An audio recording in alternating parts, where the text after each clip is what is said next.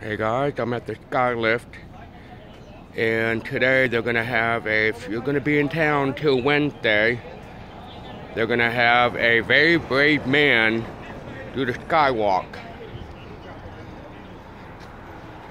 Gonna be up there. I'm gonna go try it out later. I've already got my ticket. This is so if you're in town till Wednesday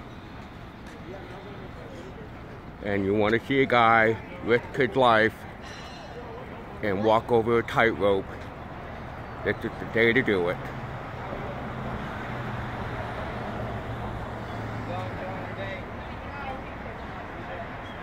So once again, if you're in town till Wednesday,